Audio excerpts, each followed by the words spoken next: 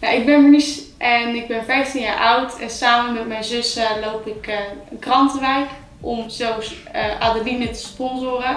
we hebben gekozen voor Doorkas omdat we het zo leuk vonden dat Doorkas ook sponsorkinderen heeft in Europa.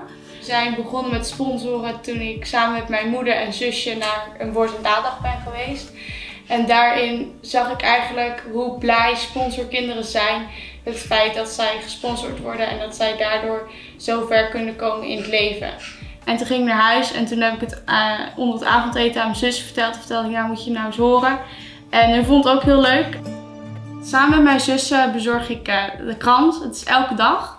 En dan één keer per maand loop je de krant echt voor haar. Dus het bedrag dat je ophaalt voor de krant is voor haar. En Adeline krijgt daar hulp van. Nou, ze gaat dus naar school en uh, ze krijgt ook begeleiding bij de huiswerk.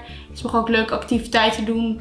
En uh, nou, zoals ik heb gelezen in het uh, boekje is ze daar heel blij mee. Heel dankbaar voor dat ze deze mogelijkheden krijgt. En is ontzettend gegroeid sinds ze ja, door ons gesponsord wordt.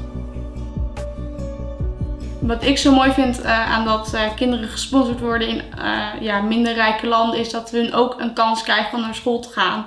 En wij hebben het allemaal zo goed en we hebben allemaal zoveel geld. En dan ja, denk van ja, dan kan ik ook best wat geven aan mensen die wat minder hebben. Die krijgen ook een hele mooie kans om veel te bereiken in hun leven.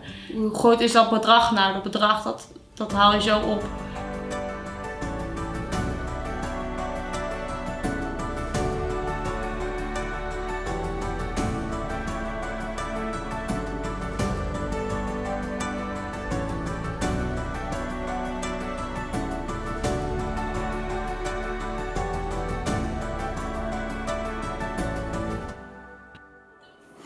Ah, ah super.